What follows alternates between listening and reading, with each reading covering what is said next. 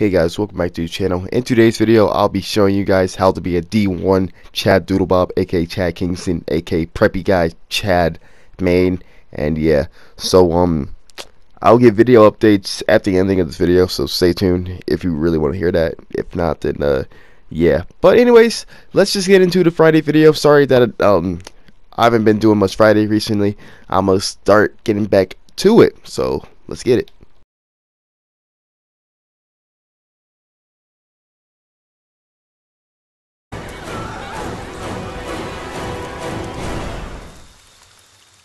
Okay, so let me get a rundown on Chad real quick. So Chad is a counselor in Friday the 13th game, obviously, and he lacks in composure, repair, and I guess you could say stamina and strength.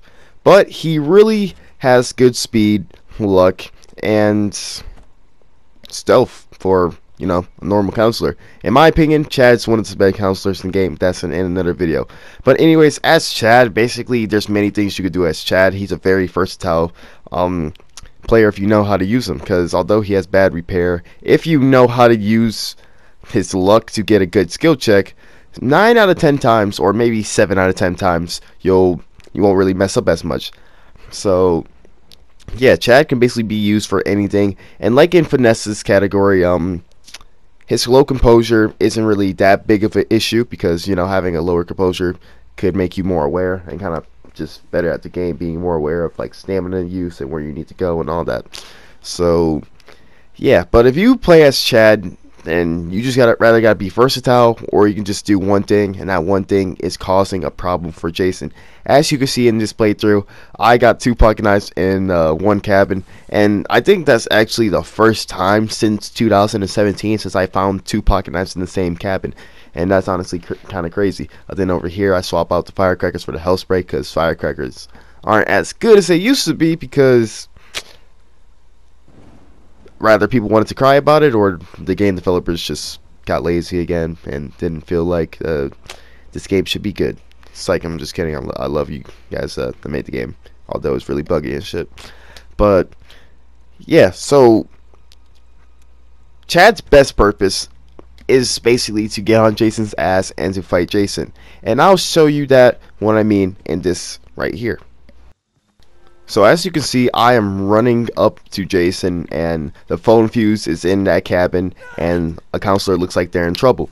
Now I'm trying to get his attention, trying to say, hey, come chase me, because, you know, obviously not everybody's going to be in game chat, not everybody's going to have a mic, so the best you could do is just flash a flashlight, emote around, and yeah. So I didn't just want to barge in there, because that wouldn't have been smart, although I had two pocket knives, so basically I just wait until that counselor escapes, until that counselor shot him, uh, then that's where I start to proceed to get on his ass.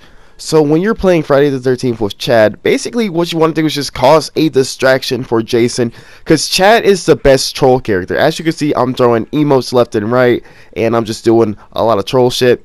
And um, yeah, sometimes I do that to, to like get my stamina back and to show that like I'm friendly, you know, especially when I throw in the wave. I'm not trying to be toxic. I'm I'm just, you know, trying to show you that I'm ready for battle stamps.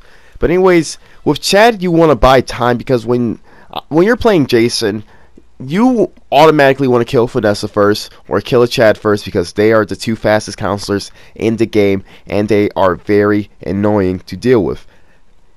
They can buy these counselors are the best at buying time because they're not too strong so they won't knock the mask off that fast. They have a good luck so, you know, they'll be able to get more hits in with the ball bat, axe, wrench, and they have more speed so they can run away from um, Jason faster.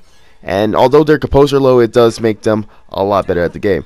Now, I ain't gonna lie, I was a little shabby there, cause uh, with the swings, cause I was trying to get the long swing swing instead of the short one. But at the ending of the day, you know, when you're experienced, it happens. You just move past it. You don't give up, and you just keep playing.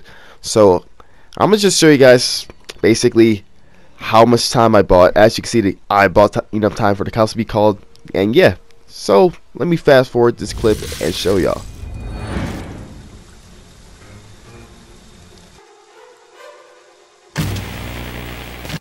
So that probably doesn't look like a lot of time, but I promise you in the Friday, like if you never played this game, you may think that's not a lot of time, but from those Friday gamers, you would understand that buying at least almost damn near three minutes is a good amount of time because I basically put Jason in a bad situation because he had to chase many counselors in a itty bitty time, and that's the good thing about calling the police. Once you call the police, it, it makes um the game shorter for Jason. It's kind of easier for Jason because he knows like you know when the cops are going to be called, how long he has to kill you, but it also makes it harder if they're going up against a Vanessa or a Chad.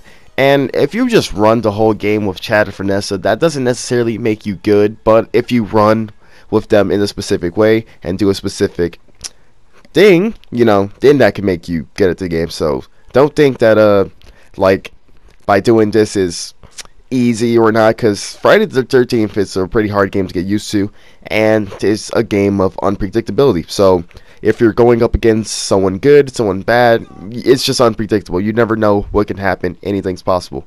And if you want to say, oh, well, this gameplay was lucky because I had two pocket knives, well, isn't that the point of playing Chad to get lucky? Even if you aren't as lucky with Chad and you don't have pocket knives or hell sprays, what you can do is still just try to buy time or just try to be a more stealthy counselor, I guess. With Chad, you don't really want to be the last one alive unless you want to uh, survive for the whole 20 minutes. But yeah, but if you were confused with what I was doing there, I basically Jason ran away from me. So basically, what I did was I was going to um go to the person he was running to so I could buy them more time. And um, yeah, then I proceeded to lay the smackdown on Jason. And yeah, I will admit I did die to this Jason. I think I lost my pocket knife due to some BS or something like that. And then I kind of just like, eh, yeah, you could kill me. I, I've done enough harm because you know I do let my guard down from time to time. I do kind of have a soft spot sometimes, so you know, um, that's kind of how it be when I be playing Friday the 13th. I ain't gonna lie, but I know my strengths and I know my weaknesses, so at least that's a good thing. But yeah, I hope you guys enjoyed this itty bitty video of me talking about what you can do to be a D1 Chad main. I will do videos like this on more counselors. It's just that like out of all counselors, I'm a better Chad main than many other counselors. So yeah, Hope you guys enjoyed the video. And yeah, I'll see y'all in the next video. Peace.